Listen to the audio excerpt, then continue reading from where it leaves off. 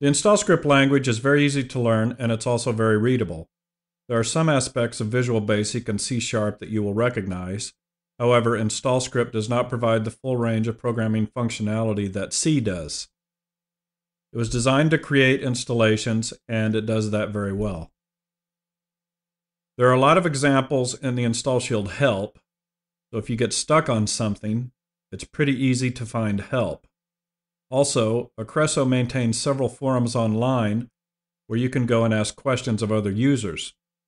Acresso personnel monitor these boards and offer people help every day, so you're really never without some kind of help when you run into problems. And you can also email me if you have questions uh, anytime. I don't mind answering. So let's have a look at the InstallScript language. This is an example of the smallest possible script. You just have an include, uh, function OnBegin, a begin and an end statement. And you could compile this installation and run it.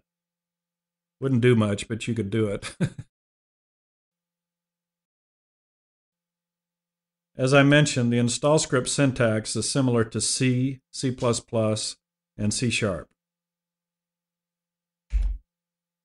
Here are the data types in InstallScript.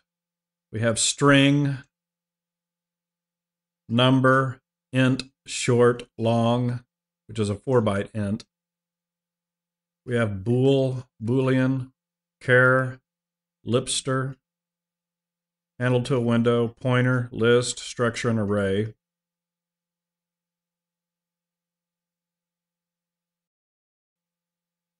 You can also have constants in InstallScript. Here's an example of how you would define them. It's pretty much like the C definition.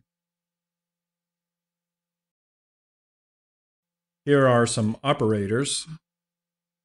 We have the add, subtract, multiply, divide. This is a special operator. It's the append to path operator, the caret sign and you put this between two strings that you are uh, concatenating when you build a path. So, for example, we've talked about the use of TARGETDIR before. You could um, have a statement that said uh, path equals TARGETDIR, caret sign, uh, double quote, backslash, file name dot text, uh, close double quote. And it will intelligently put the path together with the right amount of slashes or backslashes. Now, when you reference a string table entry in your script, you need to use the at sign.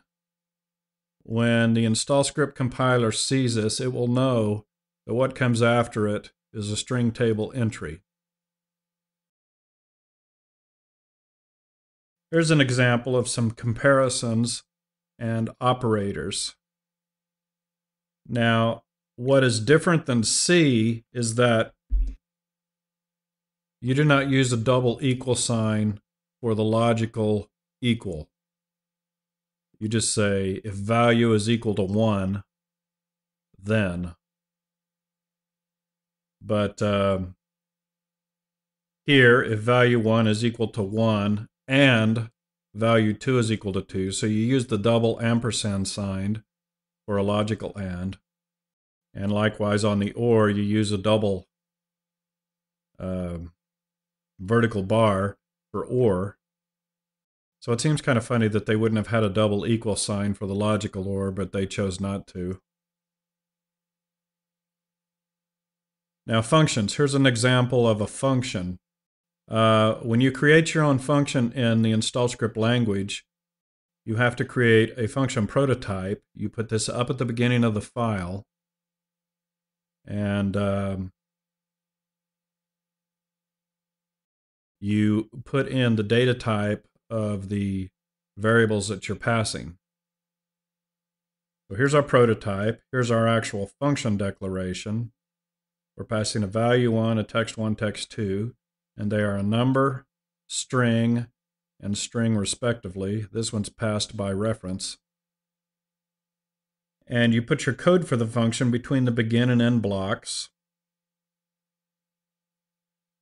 or the begin and end statements.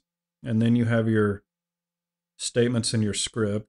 Um, notice that all the statements in a script end with a semicolon, just like in C.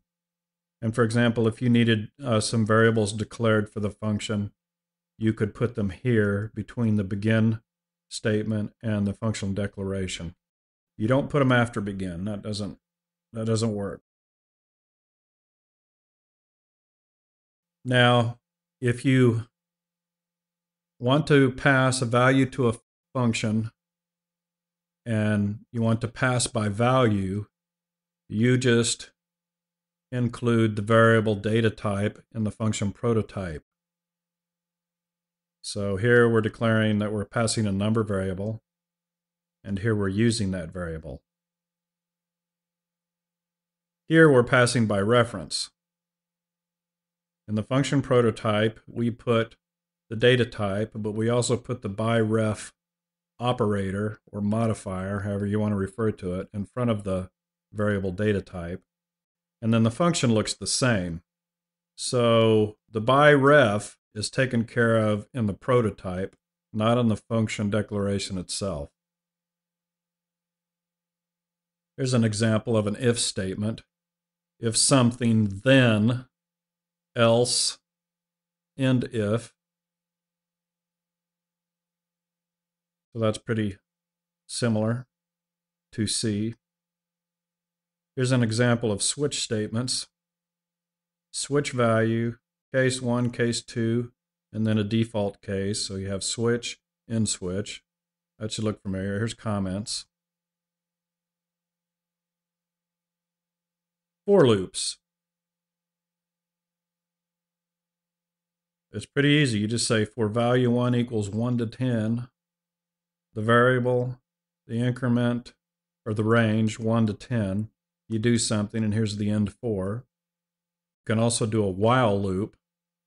While value 1 is less than 10, value 1 equals value 1 plus 1, and then end while. That's how that works. In the end, the very best way to learn InstallScript is like with any other programming language, you just have to use it.